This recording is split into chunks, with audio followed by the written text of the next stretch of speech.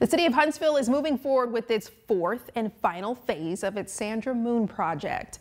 The site of the former Grissom High School has undergone major renovations and upgrades over the last four years, including the addition of pickleball courts, the South Huntsville Public Library, and rehearsal spaces for various music organizations.